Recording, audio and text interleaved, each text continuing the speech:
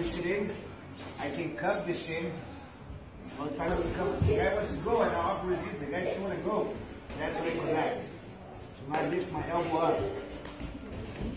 Okay, I'm not trying to place my head under his head under my armpit. That's not good. I have to go off shoot and show.